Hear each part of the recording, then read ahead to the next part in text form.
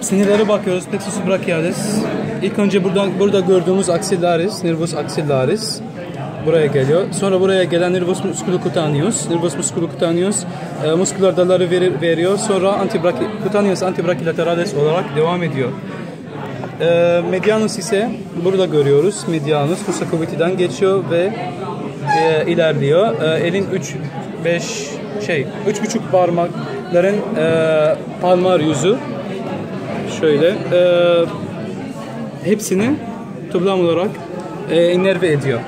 Sonra burada nervus gördüğümüz nervus e, ulnaris. Nervus ulnaris devam ediyor. Sulcus nervi ulnaris'ten geçiyor. Burada sulcus var humerus'ta. Sonra devam ediyor. Bir buçuk el e, ön ve arka innerve ediyor. Burası gördüğümüz nervus radialis posteriordan çıkıyor. Burada sulcus nervi radialis'ten geçiyor.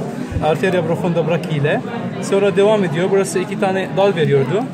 E, posterior ve superficialis posterior devam ediyor. İşte nervus radialis olarak ve e, elin üç buçuk parmağı dorsal kısmında e, şey uçlar hariç. Uçlar ise nervus medianus tarafında. Burada da bir daha bakıyoruz. İşte burası e, aks, e, axillaris. Burası medianus.